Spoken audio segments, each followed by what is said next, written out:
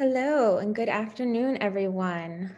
Thank you for joining us today on World Wildlife Conservation Day, and welcome to our first ever uh, reef debrief for the Southeast Floral, Southeast Florida's Coral Reef uh, Restoration Hub. So this is our kickoff event. Uh, we are so excited to finally being to be able to have this lecture series for you uh, begin. And this is kind of a teaser for what's to come over the next um, two years. So thank you for joining us today. We're so excited to be able to share our hard work with you all. Um, today, specifically, we're going to be meeting a representative from each of our five partnering organizations. Um, and you'll be able to hear a little bit about what they're going to be doing over the next two years. So um, we're really excited because we think this is the first ever time that these five amazing scientists are going to be in one place talking to you all about all of their really cool science, um, research, and conservation work. So just some housekeeping. Um, you are going to be hearing from each of the panelists for about five minutes each, and um, we are going to then have a Q&A session at the end of our chat.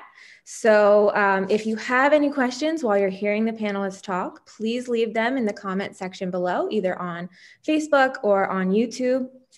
Um, and we will be sure to answer them at the end. This is being recorded, so hopefully you can share it and um, watch it if you need to uh, check in over the next few days. All right, so are we ready to get started um, with our panelists? We are going to start with Andrew Baker. Um, he is a professor at the University of Miami in the Marine Biology and Ecology Department, whose research focuses on coral reefs and climate change. So he, we're excited to have you here today. All right, Andrew. Great, thanks, Shannon. Um, so yeah, on behalf of all of the partners, welcome to our webinar. It's kind of an, an update uh, of all of the activities that we've been doing over the last few months in which we're uh, hoping to continue over the next uh, two years or so. Uh, so the Southeast Florida Coral Reef Restoration Hub is really a consortium of uh, five different organizations, all based in South Florida. And the goal of this hub is to really uh, try to bring together uh, and synthesize all of the activities in this restoration field that we've been doing uh, for the past several years and really sort of synergize so that uh, the, the whole becomes more than the sum of our respective parts. And so I'm going to give a very brief overview of the, of the sort of the 10,000 foot uh, big picture and then pass this along to my colleagues who will talk about the different components. So the overall hub really has four different components. One of the main goals is obviously coral restoration. Um, the, you know, the idea to use both uh, sexual and asexually derived corals to help restore uh, coral reefs in the Miami-Dade and Broward County areas, which is our sort of geographic area of focus. Um, but a second component uh, is, uh, Shannon, if you could move the slides along, the second component is to make sure that the corals that we're um, outplanting uh, actually are more climate resilient, are better able to deal with the warming temperatures of the future, um, so that we uh, can anticipate that our efforts uh, aren't lost the next time we get an unusually warm summer or have some other sort of climate related disturbance that uh, undoes our efforts. So we're using a variety of really cutting edge new uh, intervention technologies uh, to try to explore ways to make corals more thermally tolerant. and then another uh, goal of this uh, overall endeavor is to realize that these reefs help protect the heavily built uh, coastlines of Miami-Dade and Broward counties and all of the infrastructure and all of the people that are involved and that healthy reefs actually help protect our coastlines by reducing uh, wave energy, which ultimately reduces the penetration and inundation of water into our coastlines during the effect of during the during during large storms. So by reducing storm surge, we're actually protecting property, and that has a real uh, value for our bottom line. And the National Coastal Resilience Fund uh, from NFWIFS, the National Fish and Wildlife uh, Foundation is uh, really emphasizes this component of the project. And then finally, uh, the last component of the project is education and outreach to not only educate uh, the local people of South Florida about what we're doing and why it's so important, but also try to report back on our progress and also involve uh, involve citizen scientists, involve local members of the public in some of our efforts as a way of sort of um, expanding our efforts. So I'm going to briefly go through some of these different components in, in more detail and then uh, pass us along to uh, our partners. So talking a little bit about the restoration. Oh, I'm sorry. And who are these partners and team members? Um, so as I mentioned, we have um, five different institutions um, uh, with the University of Miami uh, actually being represented by two different schools or colleges. Um, and these uh, organizations are all based in the South Florida area. And as I said, all have a track record in this area. And so this is a really exciting time for us to be able to bring these efforts together. So moving along to the actual activities. Uh, so for our restoration, the goal is to plant over 150,000 coral colonies, including both adults and uh, recruits or sort of coral babies of multiple species um, onto at least 20 different reefs in the Miami-Dade and Broward area. And as we do that, the idea is that in, uh, those efforts will help towards the recovery of uh, three uh, coral species that are listed as threatened under the Endangered Species Act. This will also help increase the spatial connectivity and genetic diversity of those populations, all of which are good for overall increasing the resilience of, uh, of the reefs in our area. And by doing this, we're also going to be essentially creating repositories of genetic diversity across multiple different nurseries so that we have redundancy. And if, if uh, a hurricane or something were to come through one nursery and damage some of those, some of those stock, we would have sort of replicate stock in other nurseries that we could use as backups. Um, so that's a really important sort of component of uh, collaborating and, and, building this for the future. We're also going to be uh, mitigating disease impacts on many of these colonies uh, evaluating the role of sea urchins as really critical herbivores in helping sort of maintain the reef habitat and making sure that it remains uh, sort of healthy for coral, corals, especially, especially coral babies. Um, and obviously the goal here is to try to restore reefs as ecosystems, uh, which are really important for providing essential fish and invertebrate habitat, uh, which is uh, critically important for South Florida's tourism and recreational fisheries um, and commercial fisheries economies. Uh, and as I mentioned before, you know, reefs are important in protect, terms of protecting our coastlines. And so they have immense value for that, uh, from that perspective. But as part of these restoration goals, we're also going to be building our climate resilience, as I mentioned.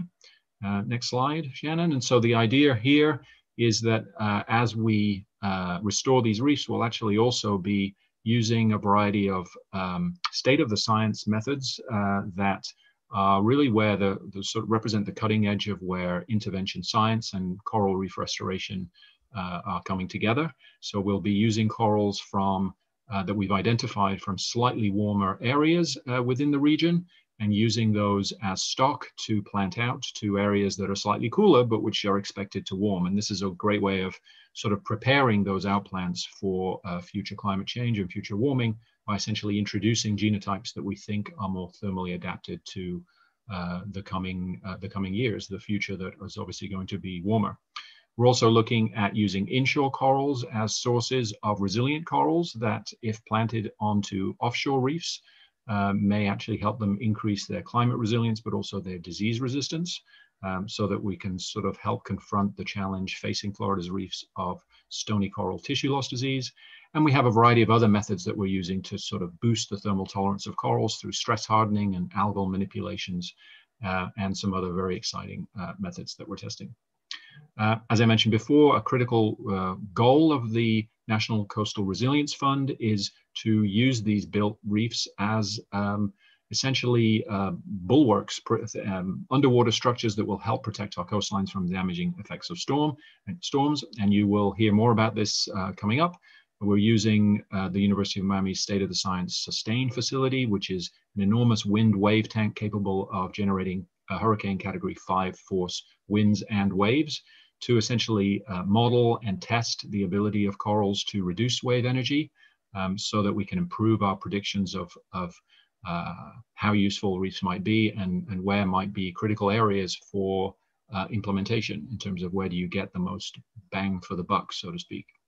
And then finally, uh, education and uh, outreach. The idea here uh, is that we'll not only be involving citizen scientists in our efforts so that they get really hands-on experience in coral restoration and help spread the word that way, but also we'll be using our social media and web platforms to help um, disseminate information and um, and talk about some of our great results. Um, so with that, I'm going to uh, pass on to the, uh, the next uh, person in the team, um, and uh, we will take questions at the end. Thanks.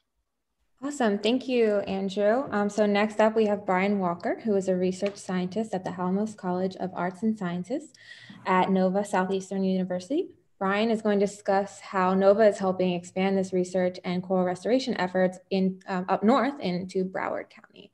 So take it away. Thanks, Shannon, and thanks, Andrew. Um, good afternoon, everyone. It's a pleasure to be involved in this uh, amazing project. Um, Andrew did a great job outlining what we are uh, trying to do as a whole, which is no small task whatsoever. And uh, NSU is, is proud to be a part of this effort. Um, I'm a research scientist at, at, Nova Southeastern University, along with my colleague, uh, Dr. Dave Gilliam. Uh, our role is to collaborate on the, the restoration research and expand the ongoing restoration activities, both in scale and in space uh, throughout the region, but mostly in the more northern parts of the region in northern Miami-Dade and Broward County. I run a GIS spatial ecology lab at, at NOVA and uh, Dr. Gilliam runs the Coral Reef Restoration Assessment and Monitoring Lab, or the CRAM lab as it's known. And uh, our efforts are by no means uh, singular. We, we certainly rely on a large uh, effort from our staff and students to help this along. So uh, just know that this work is being done by many, many people that we're representing here today. Next slide, please. So first, I wanted to give you kind of an understanding of, of where we are in terms of what's been done in the past. Uh, when, when, we, when we're looking at uh, doing this project, we wanted to, to determine, you know, where restoration has occurred and how successful it was throughout the region. And uh, if you look at the map on the, the left side, you'll see a lot of black dots. Those were the where something had been done in the past uh, by, by the groups involved here. And, uh, and then we, we set out to categorize uh, our, our, sites for this project into three categories, uh, expansion sites, uh, new sites, and then showcase sites. And the expansion sites, uh, those are shown on the second map, just to the left, or just, yeah, just left. The expansion sites uh, are already established sites that have high coral survivorship and growth from restored corals over the past three years. So they're very successful, uh, at least they've been successful in the short term, and uh, so they make sense to continue the efforts at those sites and expand them. The new sites um, or strate strategically chosen sites uh, based on spatial gaps in throughout the entire region. As you can see in the middle, there hasn't been a lot done previously. So we wanted to add some activity in kind of middle northern Miami-Dade County that are also a good source habitat uh, for larval connectivity uh, through modeling.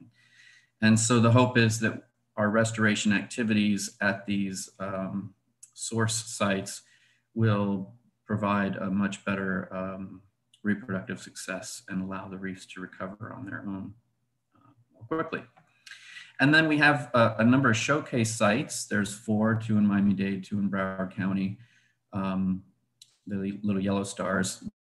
Combine all of the proposed restoration adaptation activities and coral species uh, into high visibility locations um, for synergistic benefit. And, and basically that is saying all of the, the, the, things that Andrew had presented, uh, we're going to try and put those out at the showcase sites where the public can also, you know, visit and, and see that activity that's happening. Next slide.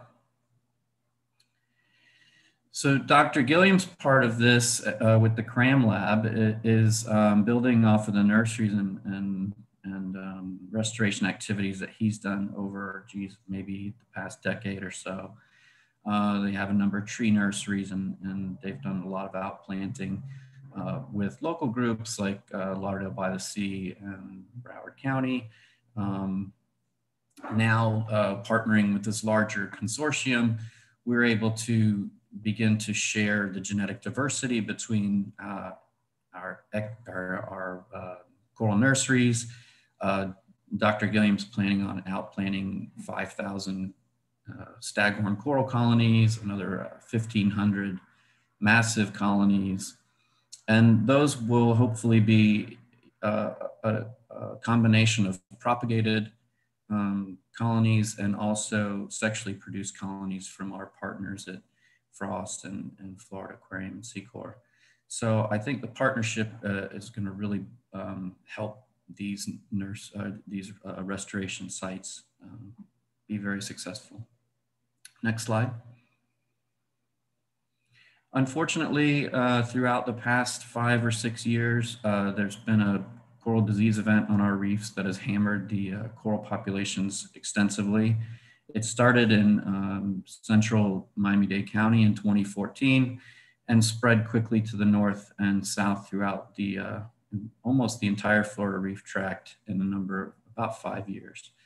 Um, this disease has changed the landscape in terms of uh, the coral communities and has affected uh, upwards of 20, 20 species of corals.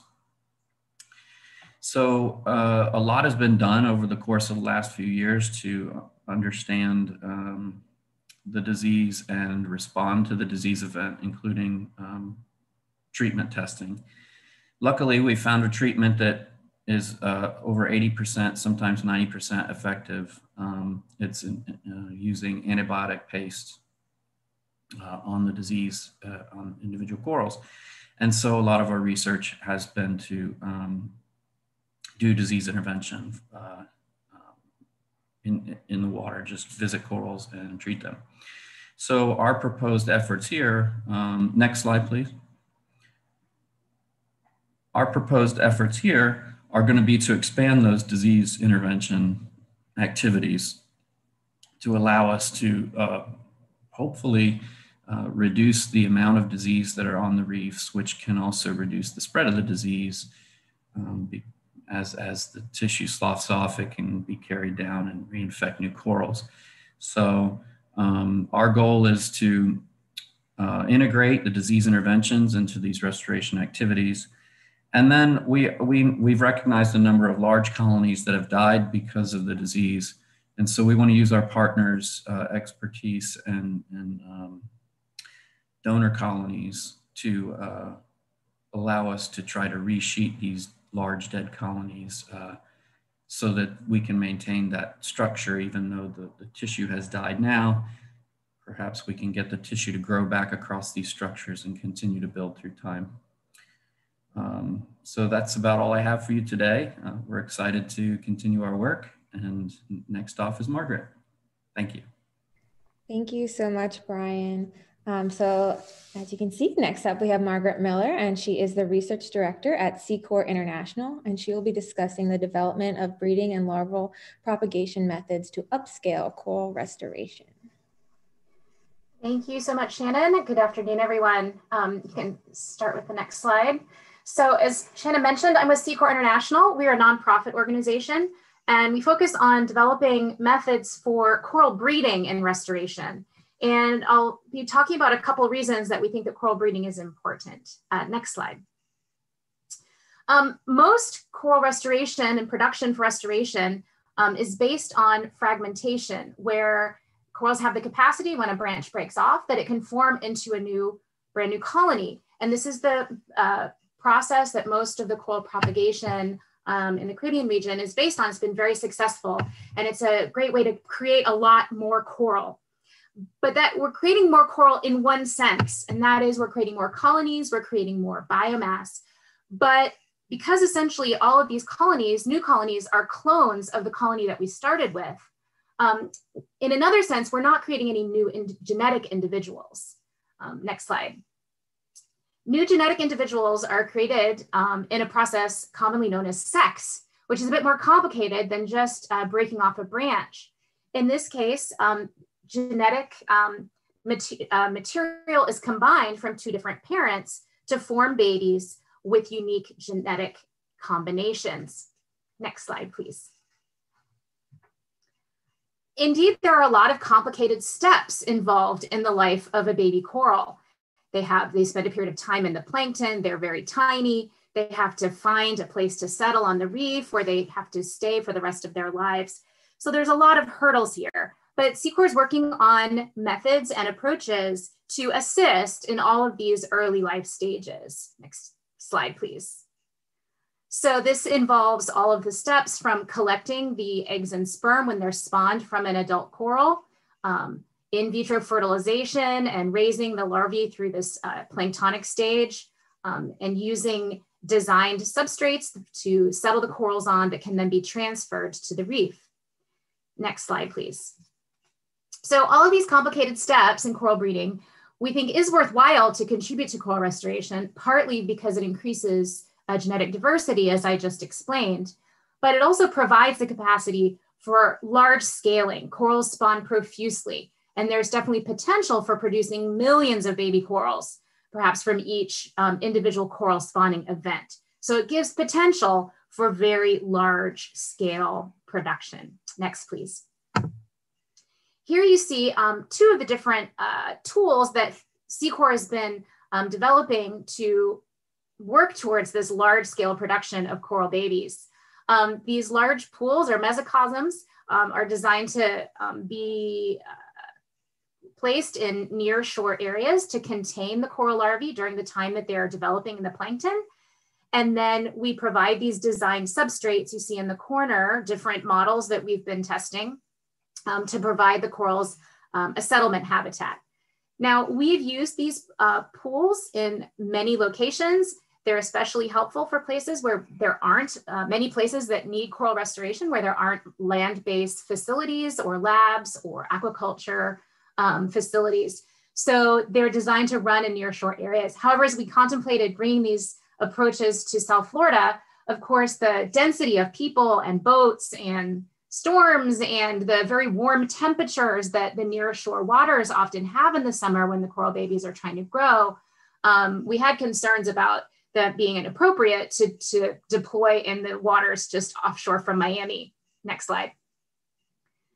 So we were extremely thankful um, to be hosted by Frost Science um, at their Batchelor Environmental Center. They maintain these very large quarantine tanks that are um, sheltered and they have temperature control. And so these uh, larval mesocosms uh, proved to work quite well at this facility. And we were able to um, be successful in raising and settling a lot of corals. So Frost Science had a very strong contribution in this effort. Next, please along with several other um, of the project partners, we were successful in observing and collecting coral spawning. Um, this is not at all assured given the poor health of parent coral populations in this region. Um, but we were very thankful we were able to document spawning both at one of the coral nurseries, UM's coral nursery you see up in the upper picture, um, where uh, spawning took place, and also at one of the restoration sites, previous restoration sites, we were able to collect uh, staghorn coral spawning, as well as several other species of coral um, right here from the Miami area, as well as Biscayne National Park and a little bit further south in Key Largo. Next, please. These coral babies did settle successfully on these little design substrates. Here you can see a couple of them um, as after they've been trans transplanted out into a, several various reef sites throughout the Miami area. Um, we were able to uh, outplant quite a number of substrates with baby corals on them. Of course, the baby corals are extremely small at this stage. Um, but you can see this one on the left is a small individual polyp of elkhorn coral. Again, elkhorn coral is one of the most endangered species in our region. And so this was particularly exciting. Um, you can see it here. It's ghostly white. It's hard to see. It's transparent because it hasn't obtained its algal symbionts yet. But by placing them on the reef, they'll be able to adopt symbionts that are suited to the particular reef habitat where they'll be um, growing in the future. So this was an exciting first year for our efforts. It was great working with the other partners and I'll turn it back to Shannon. Thank you. Awesome. Thanks, Margaret. All right, next up we have Amber Whittle, um, and she is the Director of Grants and Foundations at the Florida Aquarium, our farthest away partner, um, and she is here to discuss what they will be doing um, where she is to help with the hub. Great, thanks Shannon. And I'm very excited to be a partner in this um, venerable group that are that's doing a really important restoration effort. So as Margaret talked about in situ coral sexual reproduction, um, the Florida Aquarium is focused on ex situ. As, as Shannon mentioned, we are far away, um, close to Tampa, but we have on land greenhouses and infrastructure to be able to spawn corals um, and diadema, which are long spine sea urchins. Next, please. So as Brian mentioned, there is a large disease um, still affecting the corals um, throughout the Florida Reef Tract. And NOAA and FWC led an effort to try and save the corals ahead of the disease boundary. And they've taken about 2,000 of these corals out, and the Florida Aquarium houses about 117 of them. Next slide, please. So these are our corals. Um, they, this is when they first came in. Now they're much bigger and we need more tanks for them, but they're of about 15 different species and we have spawned the majority of them. I think right now we're at probably about 10 of them. And a lot of these species have never been held in captivity and they've certainly never been spawned. All right, next slide, please. So this is where we do a majority of our spawning of the more difficult species. Some of our species spawn very well in the greenhouse. And then we have these called our induced spawning chambers. And they mimic the, the natural cues based on a buoy out of Key West. Um, but we actually switch their day night so that they spawn during the day when our scientists are there. Um, what Margaret did mention was the um, endless uh, environmental factors that you come across when you're trying to get spawn in the wild. It's always a bad weather day or there's a jellyfish invasion. You just have to skip days. Some days, um, there were two years of elkhorn corals where no nothing spawned. So this helps control that. And then also we get to concentrate the sperm and the eggs, um, especially the sperm. And then we can cryopreserve too. So if something goes off one day and then the next day a different sex goes off or a different individual, we can combine to increase the genetic diversity, which increases the potential for adaptation. Next slide, please. So this is a video that gives you a visual of what we look like. So this is our conservation campus in Apollo Beach. That's our sea turtle building. And here is our coral greenhouses. This is where a lot of our rescue species are held including our pillar coral species, which there are about 40 or fewer left in the wild. And so we have almost 200 in our greenhouses. So this is what spawning looks like. This is a female pillar coral spawning. So what we'll do is collect those eggs and we will combine them with sperm. We usually put the, the males when they start going into buckets to concentrate it. This is sorting and getting ready for cryopreservation. And here's Carrie showing um, the larvae. So we put them in these salad containers and depending on the species, they stay in there two to five or seven days um, until the larvae can swim. And then we settle them on these plates, similar to what Margaret has with her stars. Um, and we have to keep splitting them up. That's why there are lots of little tiles. And then this was um, in 2018, we did a, a, large staghorn, sexual reproduced staghorn outplanting. And so this is just the end result. So these are our pillar corals spawning. And within the sea turtle building, that's where our induced spawning chambers and our cryopreservation lab is, um, and our diadema lab. So this is um, our SECORE partnership. So we sent tens of thousands of larvae to SECORE, to NSU, and to UM. Um, and then SECORE also sent back about 250 stars um, that we're raising to see the difference between how they're raised within the greenhouses and how they're raised um, within their, um, their chambers at Frost. Next, please. And then these are some of the babies that we have um, settled and are sending to University of Miami to outplant directly. Next, please.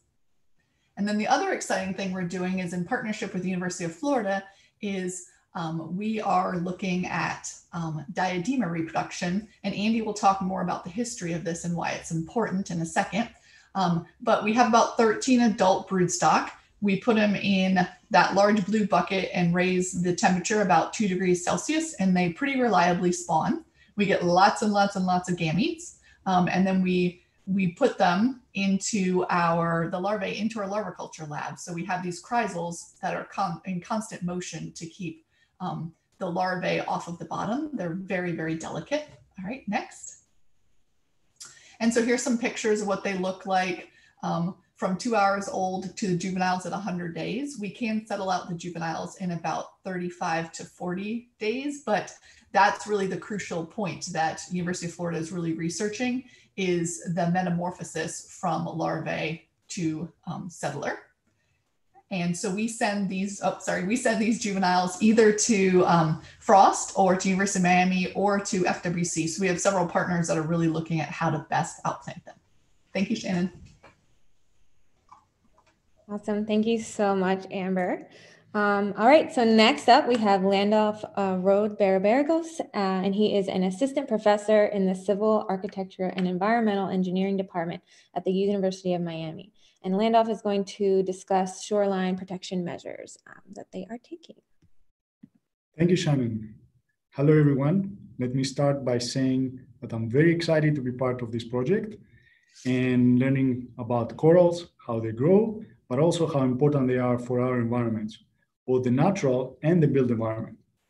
Now, as an engineer in this project, my role is to assess the impact of coral reefs on waves so that we can merge restoration and engineering knowledge to design shoreline protection structures. Now, coral reefs provide a wide variety of ecosystem services, including shoreline protection. However, the protective features vary according to environmental and physical parameters.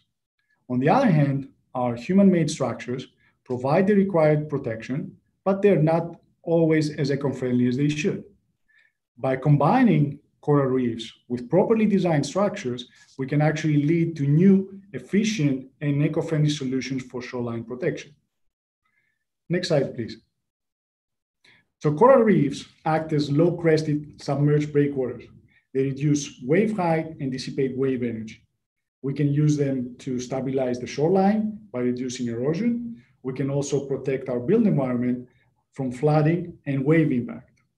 You should note that Florida's coral reefs have been estimated to provide 675 millions in flood protection benefits every year. How do they do that? Well, corals dissipate wave energy through breaking and bottom friction. Breaking is when the wave loses its stability and collapses, while friction is the resistance from the bottom of the sea to the motion of the wave. Our goal is to quantify the impact of the coral reef morphology on these two parameters. Next slide, please. So to do that, we do testing, physical testing of corals and artificial coral reef models in the University of Miami Surge Structure Atmosphere Interaction Facility, the SUSTAIN facility as Andrew introduced earlier. So SUSTAIN is a wind wave tank, which offers us the ability of doing tests under controlled wind, water, and wave conditions at a relatively large scale. As illustrated here, what we do in our test is we use coral skeletons and we measure the wave heights before and after the coral reef models to estimate the dissipation that occurs. Next slide, please. So what you see here on the left is a video of SUSTAIN in action under hurricane conditions, which means that we have both mechanically generated as well as wind-driven waves. On the right side, you have two configurations of our artificial staghorn coral reef model. The first configuration is just a breakwater, a typical gray structure, while the second one is a breakwater with staghorn coral skeletons on it. Next to them, you have the wave dissipation that occurred during three tests. So the contribution of the coral skeleton is highlighted in green.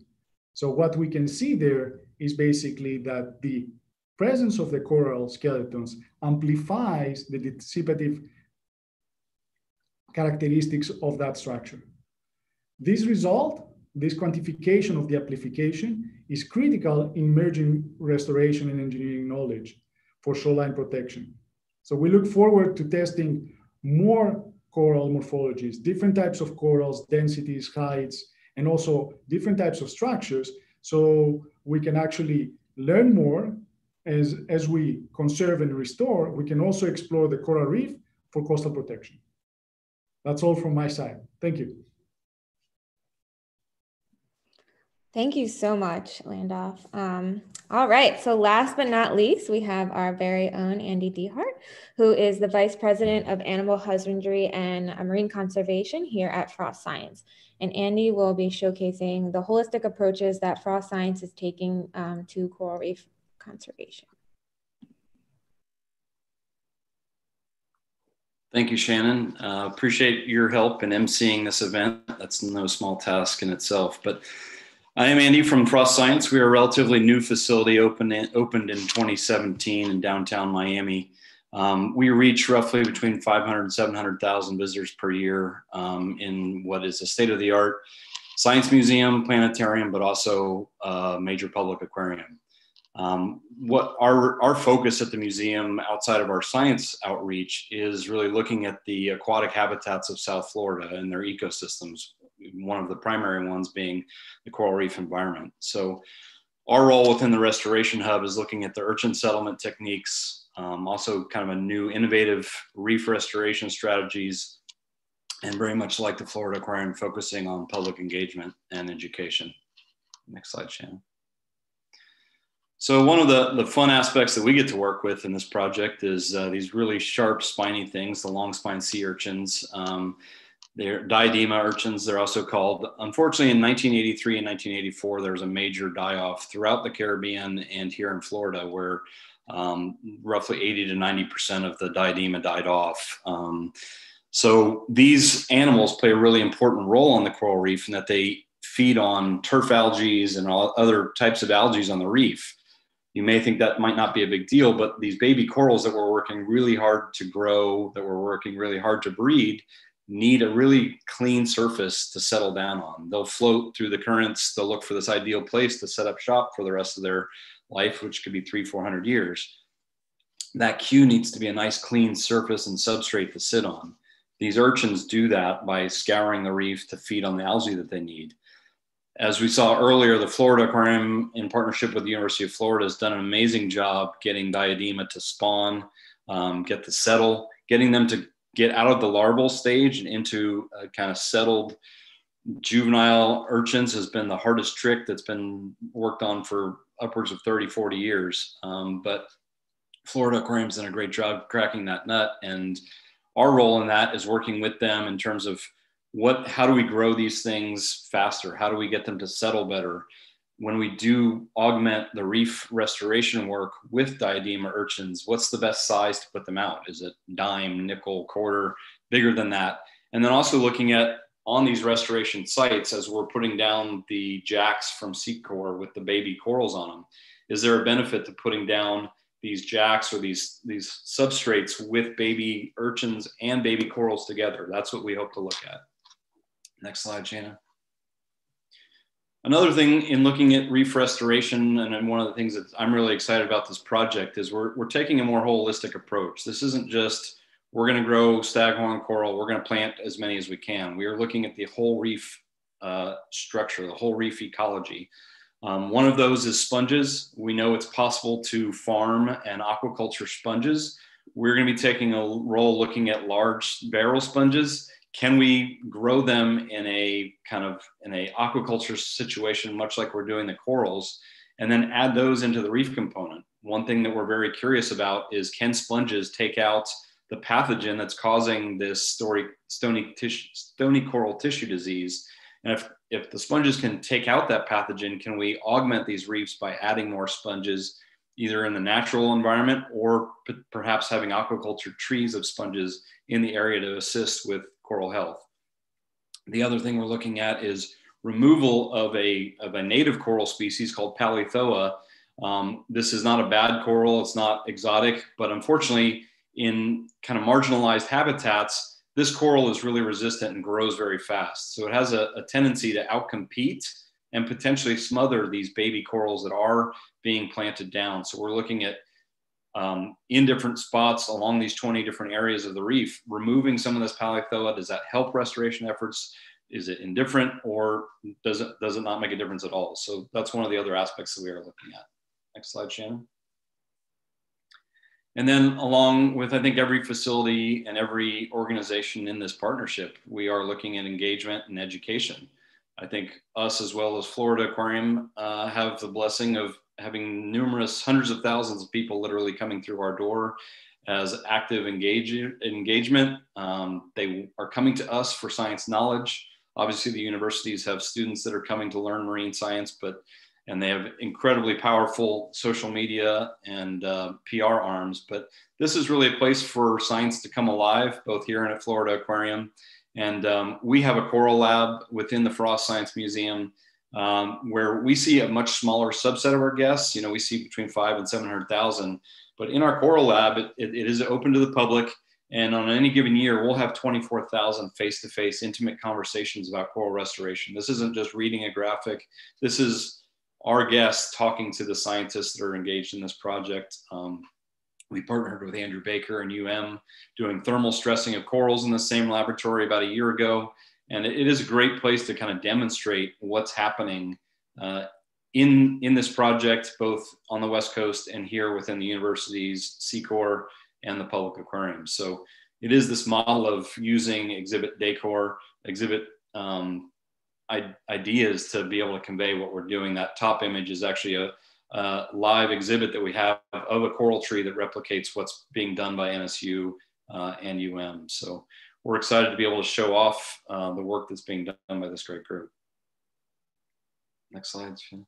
And then just from my part, from Frost, we're, we're super thankful to host this first kickoff event. We can look towards our partners. I think we're all going to take turns uh, hosting these debriefs so that you can follow what's happened. This is just our kickoff meeting to explain to you guys what we hope to do over the course of this three-year project. Um, but for me personally, I think what's really exciting about this is you have a very diverse group here. There's two major universities, a non, an environmental nonprofit, and two public aquariums. And in, in normal kind of history on normal problems, we would oftentimes be competing for the same amount of money to get these different projects done. And what I really like about this project is we've all come together, we've pooled our resources, we've pooled our expertise. And by doing that, we're able to, to take a stretch of reef all the way from Broward County to the very southern tip of, of Miami Dade County and actually hopefully do meaningful restoration that's more than just outplanting corals, but looking at a holistic ecosystem entirely. Awesome. Thank you so much, Andy.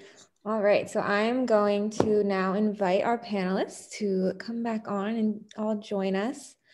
Um, and I'm going to field you some questions.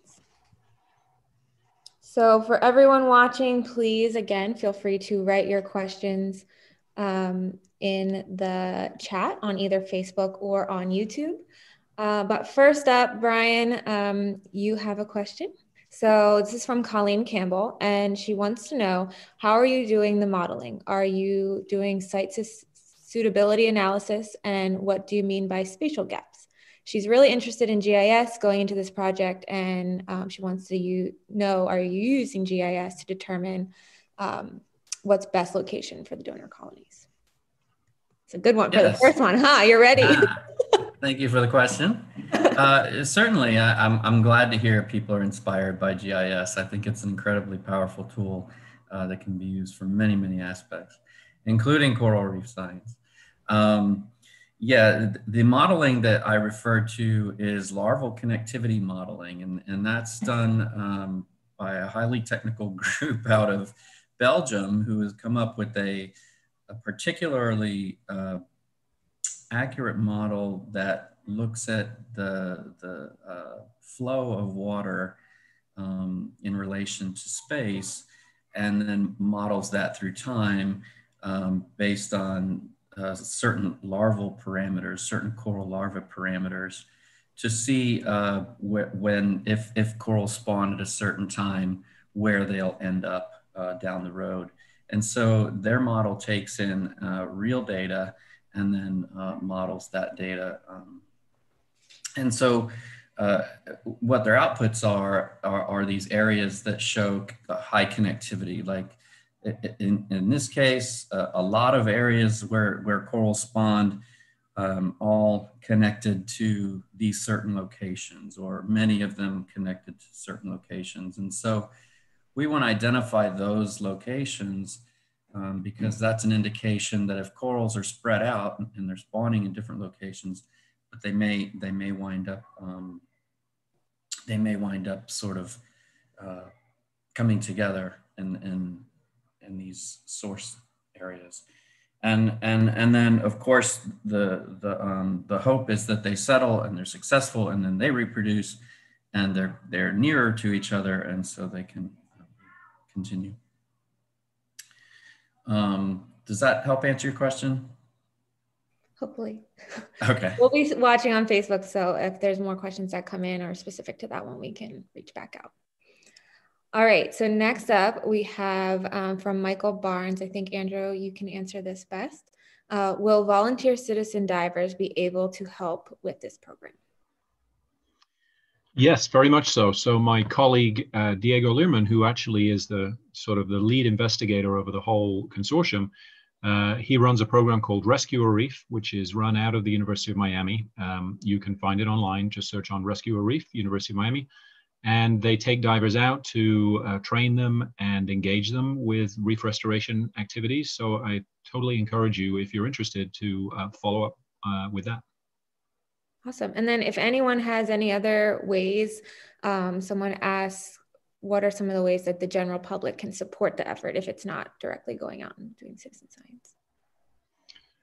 Well, I think uh, I invite everybody else to contribute if you want, but um, uh, I think uh, just recognizing that um, you know we have this tremendous resource off our coastlines, and that there's a lot of different activities that we do that ultimately uh, impact that resource. So it's everything from uh, the kinds of uh, water quality that we subject these corals to. Um, so that has to do with whether we're using um, pesticides or even fertilizers on our own lawns, which leads to groundwater and pollution offshore, um, through to you know carbon footprints and reducing our carbon footprint because ultimately that's going to help corals uh, survive climate change, and also sort of uh, keeping abreast of the kinds of um, activities that go on off of our coastlines, um, because many of those um, things affect coral reefs and um, you know it's very much a sort of out of sight, out of mind sort of problem. Um, you know, we've got some major dredging activities going on, for example, off of South Florida. Uh, the Port of Miami was dredged recently, and uh, Port Everglades is going to be dredged very soon. Uh, in fact, Port of Miami may be dredged again very soon. And there's good evidence that, you know, corals really don't do well under some of those dredge plumes. Uh, and so everything we can do to try to make sure that those activities are well regulated and monitored uh, would be great. Awesome. All right, Andy, you're up. Um, Lee Gillidan wants to know, um, do Palythoa toxins cause any issues for divers when they're removing them? Yes, they certainly can. Palythoa toxin is, is a, a deadly toxin. Um, so that's not something that the, the volunteer team at Rescue Reef will be participating in. Um, it, there's been, you know, crazy stories of people actually being poisoned by doing siphoning of their home aquariums. And uh, so it is something that we do need to handle uh, carefully um, and in our mitigation strategies with that. Awesome. And this one is for everyone, so whoever wants to chime in first. Um, how has COVID 19 impacted this project? Anyone really want to take a stab at that? Well, I can start because we're land based. It hasn't really. So that's been great. and that's one of the um, important aspects of having a variety of methodologies um, to get it where we're going. Uh, because at certain points we'll have weather issues or um, at other points, you know, we won't be successful. So that is um, a great question. Yeah, I'll just add quickly. I mean, it, it has affected, I think, everyone's work, um, no matter what your work is. So um, particularly during the coral spawning season this year, um, as Amber said, it was great that we had these different opportunities from different places, but in a lot of cases, um, most teams still had restrictions about how many people they could have on a boat and how many bodies could be in a lab um, at one time and things like that. So there definitely were extra challenges this year, um, which is partly why I think the fact that we were able to be successful with raising some baby corals was even more exciting than in a normal year because there definitely were some extra challenges. Yes. All right. I have one uh, from Margaret how did you come up for the design for the pools and um, the substrates for the coral larvae? Thanks. Yeah, that's a, that's a great idea. So the pools actually, um, there had been a couple different groups working in the Pacific over the past 10 years or so that had tried this same sort of idea just of having some sort of floating structure that could be in the ocean to keep the larvae in the ocean. So there's actually a group in Japan that has tried something similar and a group in Australia, both that had tried this kind of similar idea.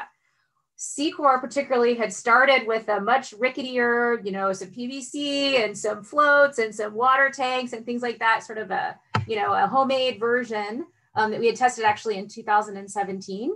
And then the, the version that you saw the picture of was um, we engaged with some other designers, some folks that worked um, making and manufacturing like ocean mesocosms for other types of science, but also then a manufacturer who makes um, river rafts. You might notice these are made with a pontoon on the top. So it's actually a river raft manufacturer that we've been working with um, to make those.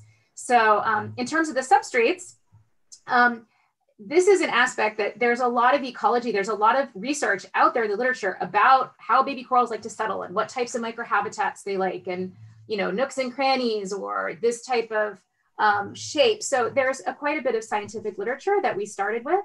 Um, some uh, some of our own work as well that's just looked at both then the microhabitats were a factor, but then the overall shape of the units. Um, Andy had referred to them as jacks, which is true. Some of the earlier versions um, were more of a tetrapod shape. And that was originally based on the idea, again, our, our goal was to get something that was sort of a self-stabilizing shape so that we could get away from too much of the work that happens with nailing and attaching and gluing and that sort of thing. So having a shape that could kind of nestle itself into the reef. And so that tetrapod shape was based on many design structures like like Landolf was referring to for breakwaters and things like that, where they would use those interlocking types of, of tetrapod shapes or jacks, jack type of shape was kind of the inspiration originally for those. And then we've been adapting those um, over the past several years, um, both for the stability of them and for the sort of ecological function as good a home as they can provide for the baby corals. Awesome. Thank you so much. All right. So we're running out of time. Um, and so if anyone else watching, you still have questions, please still feel free to enter them in the comments and we will um, get back to you as soon as we can.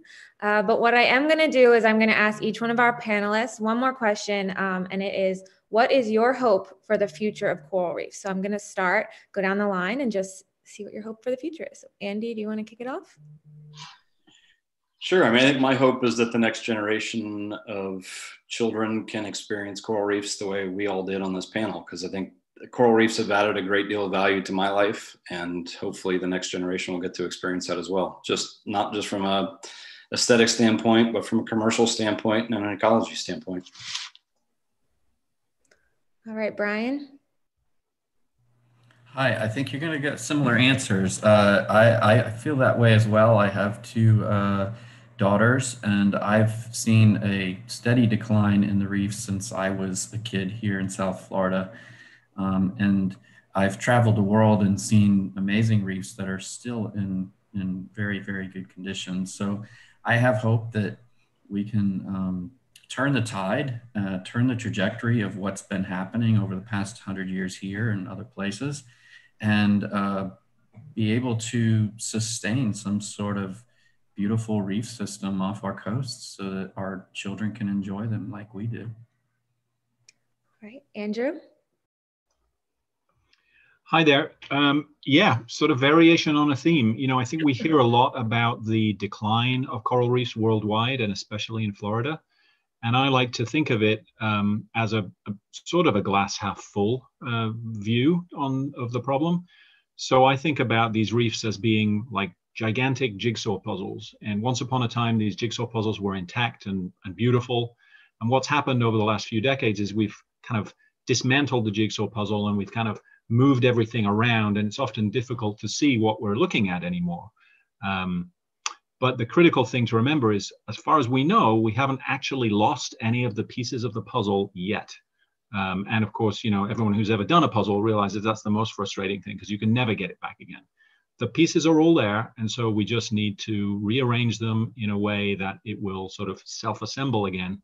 And I think I take a, a great deal of optimism from from that viewpoint. And you know, although we've lost a lot, we still have an awful lot to lose. And so every little uh, step that we take to help protect these reefs is, is really important. And this reminds me of one thing that I mentioned, uh, or forgot to mention rather, when, when I got the question about what can you do, what can members of the public do to help? And the obvious thing to do is you could donate. Uh, we're all nonprofit organizations and we're all uh, in it for the long haul and trying to make a difference.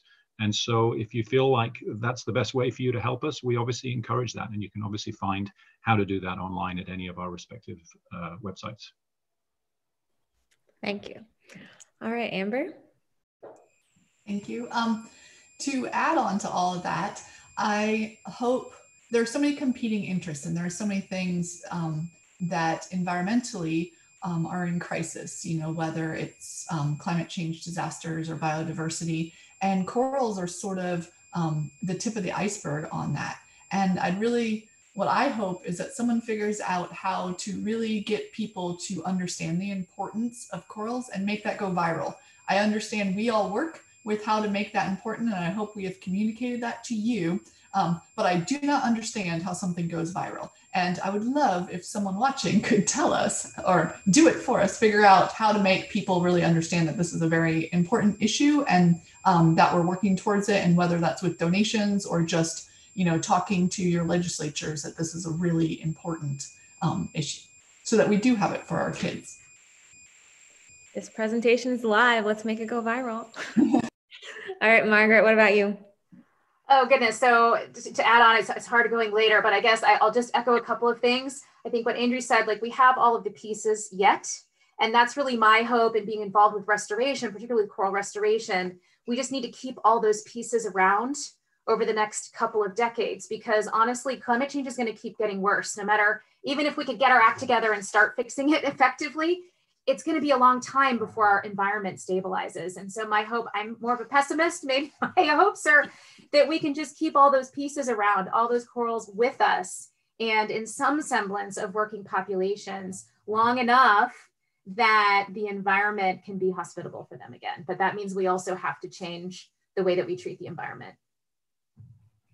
Awesome. All right, Landolf, last but not least. Well, my hope resonates everybody's message there. Um, uh, as a citizen, as a father, and as an engineer here, I have to say that it's very important that we do these kind of projects, that we bring the scientists and they inform us how to design for the future, how we can promote restoration, give it new dimensions there. So these collaborations are key for the future.